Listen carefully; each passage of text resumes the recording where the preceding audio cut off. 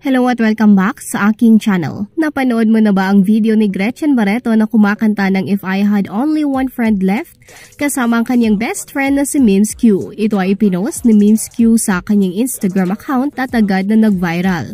Sa video makikita ang masayang bonding ng dalawang magkaibigan. Si Gretchen ay kilala bilang aktres, model at singer na maraming pelikula at teleserye sa kanyang karera. Si Mims Q naman ay isang businesswoman at socialite na madalas kasama ni Gretchen sa mga events at parties. Ang kanilang pagkakaibigan ay matagal na at napagdaanan na ang maraming ups and downs. Sa kanilang pag-awit ng If I Had Only One Friend Left, ipinakita nila ang kanilang pagmamahal at suporta sa isa't isa. Ang kantang ito ay orihinal na kinanta ni Dan Seals noong 1987 at tungkol sa isang taong handang ibigay ang lahat para sa kanyang kaibigan.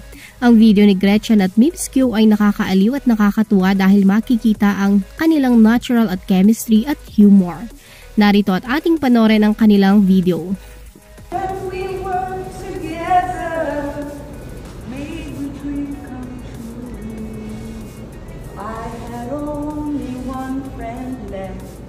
Wanted to be you.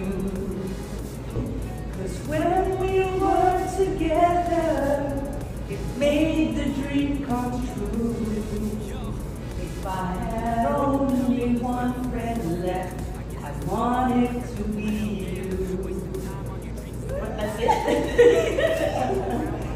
BFF forever and ever. Yes.